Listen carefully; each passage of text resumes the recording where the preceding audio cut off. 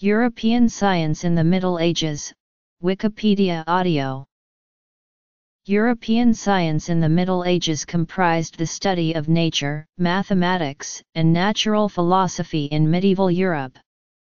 Following the fall of the Western Roman Empire and the decline in knowledge of Greek, Christian Western Europe was cut off from an important source of ancient learning. Although a range of Christian clerics and scholars from Isidore and Bede to Buridan and Oresme maintained the spirit of rational inquiry, Western Europe would see a period of scientific decline during the early Middle Ages.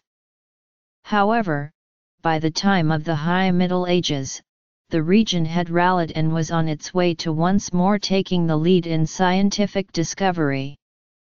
Scholarship and scientific discoveries of the late Middle Ages laid the groundwork for the scientific revolution of the early modern period. According to Pierre Duhem, who founded the academic study of medieval science as a critique of the Enlightenment positivist theory of a 17th-century anti-Aristotelian and anti-clerical scientific revolution, the various conceptual origins of that alleged revolution lay in the 12th to 14th centuries, in the works of churchmen such as Aquinas and Buridan. In the context of this article, Western Europe refers to the European cultures bound together by the Roman Catholic Church and the Latin language.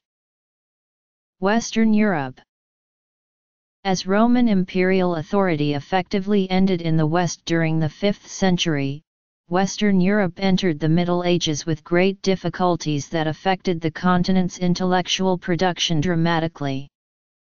Most classical scientific treatises of classical antiquity written in Greek were unavailable, leaving only simplified summaries and compilations. Nonetheless, Roman and early medieval scientific texts were read and studied, contributing to the understanding of nature as a coherent system functioning under divinely established laws that could be comprehended in the light of reason. This study continued through the early Middle Ages, and with the Renaissance of the 12th century, interest in this study was revitalized through the translation of Greek and Arabic scientific texts. Scientific study further developed within the emerging medieval universities, where these texts were studied and elaborated, leading to new insights into the phenomena of the universe. These advances are virtually unknown to the lay public of today, partly because most theories advanced in medieval science are today obsolete, and partly because of the caricature of Middle Ages as a supposedly dark age which placed the word of religious authorities over personal experience and rational activity. In the ancient world, Greek had been the primary language of science. Even under the Roman Empire, Latin texts drew extensively on Greek work, some pre-Roman, some contemporary, while advanced scientific research and teaching continued to be carried on in the Hellenistic side of the empire, in Greek. Late Roman attempts to translate Greek writings into Latin had limited success. As the knowledge of Greek declined during the transition to the Middle Ages, the Latin West found itself cut off from its Greek philosophical and scientific roots.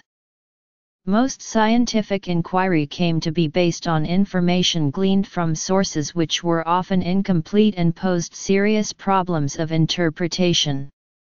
Latin speakers who wanted to learn about science only had access to books by such Roman writers as Chalcidius, Macrobius, Martianus Capella, Boethius, Cassiodorus, and later Latin encyclopedists.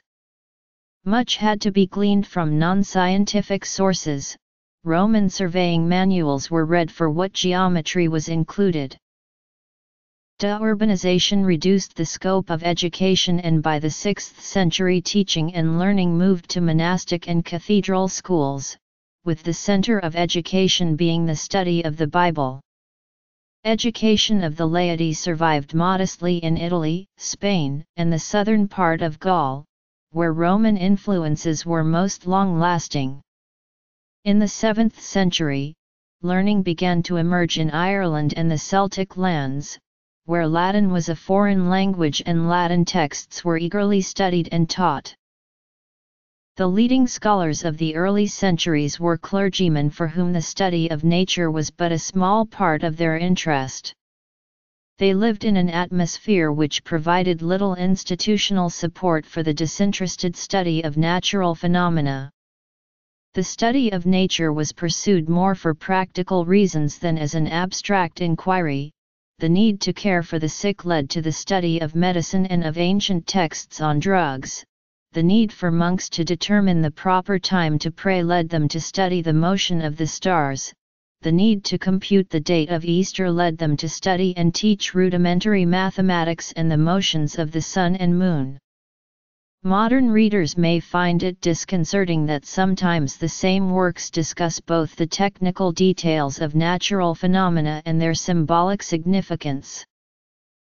Around 800, Charles the Great, assisted by the English monk Alcuin of York, undertook what has become known as the Carolingian Renaissance, a program of cultural revitalization and educational reform. The chief scientific aspect of Charlemagne's educational reform concerned the study and teaching of astronomy, both as a practical art that clerics required to compute the date of Easter and as a theoretical discipline. From the year 787 on, decrees were issued recommending the restoration of old schools and the founding of new ones throughout the empire. Institutionally, these new schools were either under the responsibility of a monastery, a cathedral, or a noble court. The scientific work of the period after Charlemagne was not so much concerned with original investigation as it was with the active study and investigation of ancient Roman scientific texts. This investigation paved the way for the later effort of Western scholars to recover and translate ancient Greek texts in philosophy and the sciences.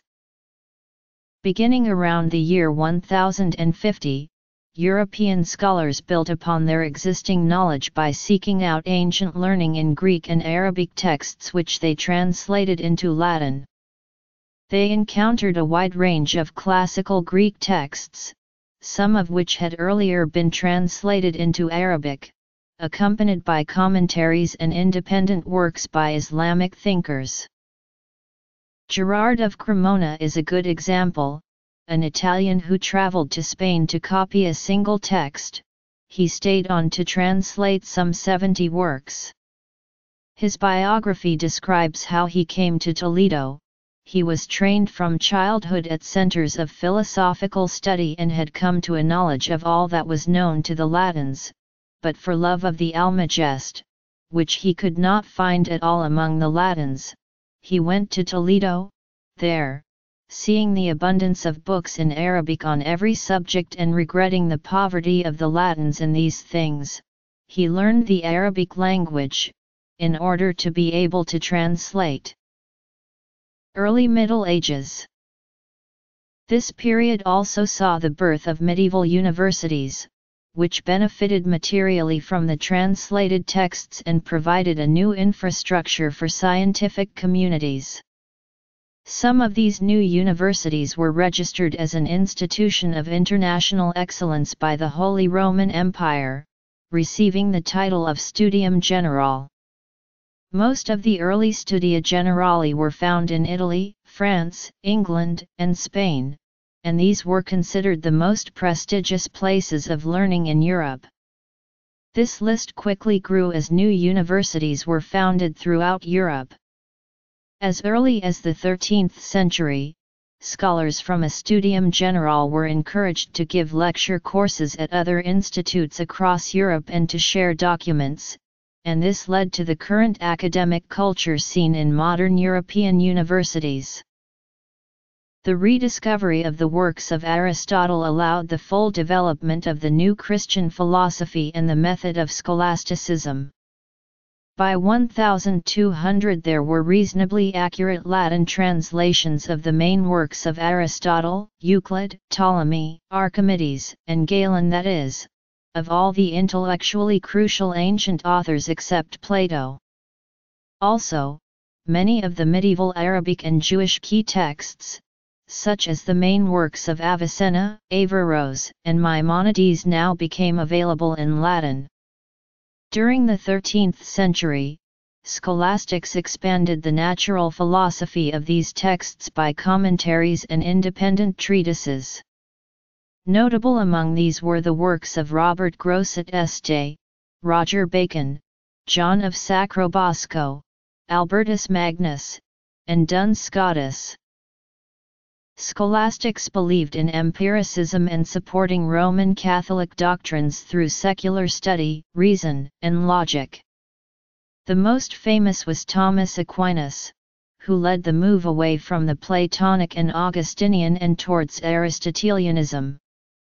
Meanwhile, precursors of the modern scientific method can be seen already in Grosseteste's emphasis on mathematics as a way to understand nature and in the empirical approach admired by Roger Bacon. Grosseteste was the founder of the famous Oxford Franciscan school. He built his work on Aristotle's vision of the dual path of scientific reasoning concluding from particular observations into a universal law, and then back again, from universal laws to prediction of particulars. Grosseteste called this resolution and composition. Further, Grosseteste said that both paths should be verified through experimentation in order to verify the principles. These ideas established a tradition that carried forward to Padua and Galileo Galilei in the 17th century. Under the tuition of Grosseteste and inspired by the writings of Arab alchemists who had preserved and built upon Aristotle's portrait of induction, Bacon described a repeating cycle of observation, hypothesis, experimentation, and the need for independent verification. He recorded the manner in which he conducted his experiments in precise details so that others could reproduce and independently test his results, a cornerstone of the scientific method, and a continuation of the work of researchers like al-Battani. Bacon and Grosseteste conducted investigations into optics, although much of it was similar to what was being done at the time by Arab scholars. Bacon did make a major contribution to the development of science in medieval Europe by writing to the Pope to encourage the study of natural science in university courses and compiling several volumes recording the state of scientific knowledge in many fields at the time. He described the possible construction of a telescope, but there is no strong evidence of his having made one. The first half of the 14th century saw the scientific work of great thinkers. The logic studies by William of Ockham led him to postulate a specific formulation of the principle of parsimony, known today as Ockham's razor. This principle is one of the main heuristics used by modern science to select between two or more underdetermined theories. High Middle Ages Late Middle Ages As Western scholars became more aware of controversial scientific treatises of the Byzantine and Islamic empires these readings sparked new insights and speculation. The works of the early Byzantine scholar John Philoponus inspired Western scholars such as Jean Buridan to question the received wisdom of Aristotle's mechanics. Buridan developed the theory of impetus which was a step towards the modern concept of inertia. Buridan anticipated Isaac Newton when he wrote Renaissance. Byzantine and Islamic influences. Byzantine interactions. Islamic interactions. Gallery. After leaving the arm of the thrower, the projectile would be moved by an impetus given to it by the thrower and would continue to be moved as long as the impetus remained stronger than the resistance, and would be of infinite duration were it not diminished and corrupted by a contrary force resisting it or by something inclining it to a contrary motion. Thomas Bradwardine and his partners, the Oxford calculators of Merton College, Oxford, distinguished kinematics from dynamics, emphasizing kinematics, and investigating instantaneous velocity. They formulated the mean speed theorem. A body moving with constant velocity travels distance and time equal to an accelerated body whose velocity is half the final speed of the accelerated body. They also demonstrated this theorem the essence of the law of falling bodies long before Galileo, who has gotten the credit for this.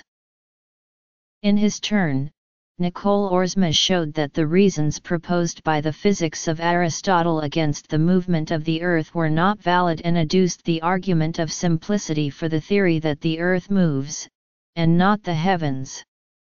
Despite this argument in favor of the Earth's motion, Oresme fell back on the commonly held opinion that everyone maintains, and I think myself, that the heavens do move and not the earth. The historian of science Ronald Numbers notes that the modern scientific assumption of methodological naturalism can be also traced back to the work of these medieval thinkers. By the late Middle Ages the search for natural causes had come to typify the work of Christian natural philosophers although characteristically leaving the door open for the possibility of direct divine intervention, they frequently expressed contempt for soft-minded contemporaries who invoked miracles rather than searching for natural explanations.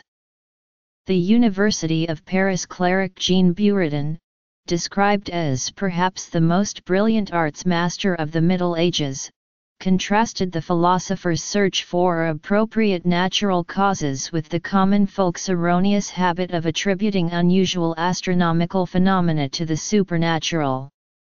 In the 14th century the natural philosopher Nicole Oresme, who went on to become a Roman Catholic bishop, admonished that, in discussing various marvels of nature, there is no reason to take recourse to the heavens, the last refuge of the weak, or demons, or to our glorious God as if he would produce these effects directly, more so than those effects whose causes we believe are well known to us.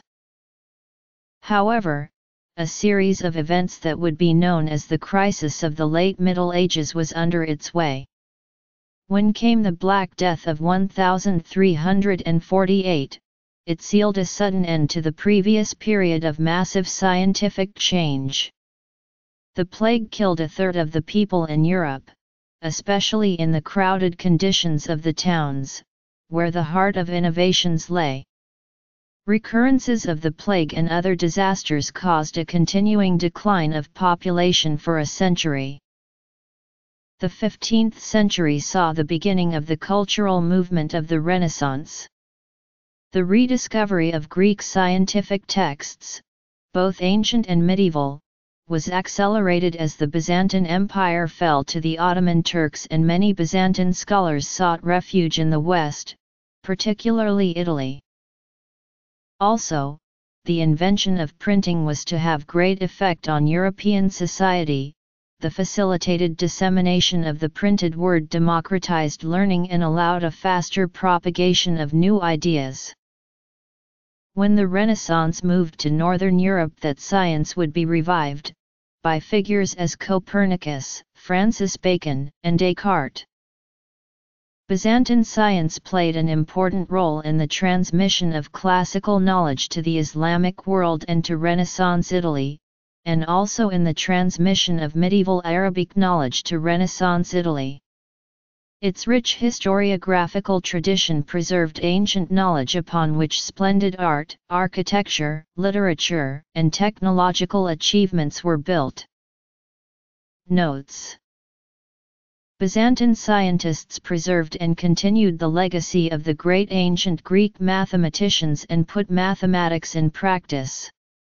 In early Byzantium the architects and mathematicians Isidore of Miletus and Anthemius of Tralles used complex mathematical formulas to construct the great Hagia Sophia temple, a magnificent technological breakthrough for its time and for centuries afterwards due to its striking geometry, bold design, and height. In late Byzantium mathematicians like Michael Psellos considered mathematics as a way to interpret the world. The Byzantine Empire initially provided the medieval Islamic world with ancient Greek texts on astronomy and mathematics for translation into Arabic. Later with the emerging of the Muslim world, Byzantine scientists such as Gregory Chioniades translated Arabic texts on Islamic astronomy, mathematics, and science into medieval Greek, including the works of Ja'far ibn Muhammad Abu Mashar al-Balkhi, ibn Yunus, al-Khazini, Muhammad ibn Msa with Makron al-Khrazim and Nasr al-Din al-Ts among others. There were also some Byzantine scientists who used Arabic transliterations to describe certain scientific concepts instead of the equivalent ancient Greek terms. Byzantine science thus played an important role in not only transmitting ancient Greek knowledge to Western Europe and the Islamic world, but in also transmitting Islamic knowledge to Western Europe. Byzantine scientists also became acquainted with Sassanid and Indian astronomy through citations in some Arabic works. European output of manuscripts 500-1500